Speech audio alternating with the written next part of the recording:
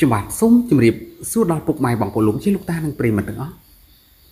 ដែលតែងតែនិយមតាមដានស្ដាប់ព័ត៌មាននិងចំណេះដឹងផ្សេងផ្សេងៗតាមសង្គម YouTube ជាទីគោរពនិងជាទីមេត្រីក្នុងគណៈពេលនេះដែរខ្ញុំបាទមានអត្ថបទព័ត៌មានមួយ ដែលមានចំណងជើងថាឃើញថមមីពាក់ខ្សែកពេជ្រឲ្យសួសវីសាពោពេញដោយក្តីស្រឡាញ់និងយកចិត្តទុកដាក់បែបនេះ ធ្វើឲ្យលោកស្រីត្រីដាណាមិនអាចទប់ចិត្តជាប់ឡើយក៏ទម្លាយពាក្យទាំងរំភើបជំនួសនិងអួលអារម្មណ៍ថាខ្ញុំមើលរូបនេះហើយ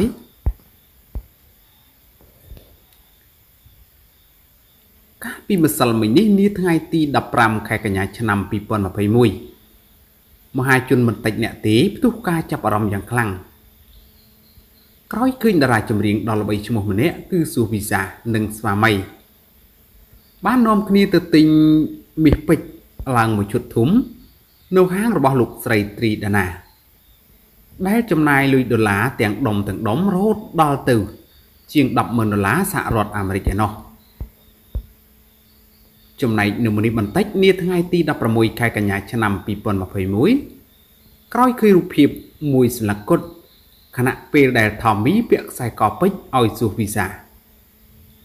ពូពេញដោយក្តីស្រឡាញ់និងយកចិត្តទុកដាក់បែបនេះ ធ្វើឲ្យថៅកែហាងមាសពេជ្ររូបនេះទប់អារម្មណ៍លែងជាប់ហើយក៏បាននិយាយត្រង់ត្រង់ថា ក្តីសុខនិងសុភមង្គលពិតប្រាកដរបស់មនុស្សស្រីគ្រប់រូបគឺទទួលបានការយកចិត្តទុកដាក់និងផ្ដល់តម្លៃពីមនុស្សប្រុសដែលខ្លួនស្រឡាញ់ ចាំងហោចណាស់ឲ្យនារីម្នាក់នោះយល់ថា មាននាងនៅក្នុងបេះដូងធ្វើឲ្យនាងទុកចិត្តមានភាពកក់ក្ដៅគ្រប់គ្រាន់ហើយ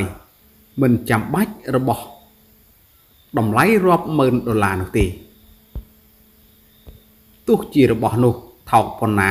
ឬគ្មានតម្លៃក្នុងភ្នែកអ្នកដតីក៏ជាកាដូមានតម្លៃបំផុត នៅក្នុងចិត្តរបស់នាងខ្ញុំមើលរូបនេះហើយខ្ញុំត្រេកអរជំនួសប្អូនវីសាហើយក៏សរសើរប្អូនទាំងពីរដែលចាប់ដៃគ្នាប្រឹងរកស៊ីមានបានដោយកម្លាំងញើសឈាមខ្លួនឯងតស៊ូជាមួយគ្នាជំនះការលំបាកជាមួយគ្នា មានពេលវេលាសប្បាយជាមួយគ្នា ហើយផ្ដល់ភាពកក់ក្ដៅឲ្យគ្នា ជាអារម្មណ៍មួយ ដែលខ្ញុំមិនធ្លាប់ទទួលបាន ពីជីវិតគ្រួសារត្រូវចាំថាទោះនារីម្នាក់នោះ មានសពគ្រប់យ៉ាងណាក៏នាងចង់បានការយកចិត្តទុកដាក់អ្នកខ្លះនៅជាសង្សារចេះនិយាយលេងសើចនិងផ្ដល់កាដូសប្រាយមនុស្សជាទីស្រឡាញ់ដល់ពេលคลายជាប្តីប្រពន្ធក៏ភ្លេចអស់ នៅការយកចិត្តទុកដាក់កុំរងចាំដល់ពេលមួយ ដែលនាងឈប់និយាយអ្វីទាំងអស់ព្រោះពេលនោះ អ្នកក៏លែងមានតម្លៃក្នុងចិត្តនាងទៀតដែរសូមអរគុណប្អូនទាំងពីរដែលជួយទិញនៅហាងបង ហើយបង្ហាញឲ្យបងបានយល់អ្វីហៅថា សុភមង្គលប្តីប្រពន្ធបាទហើយអត្ថបទព័ត៌មាននេះខ្ញុំបាទបានជម្រាបជូនខាងលើនេះ ក៏មានតែប៉ុណ្ណឹងសូមអរគុណសូមជម្រាបលា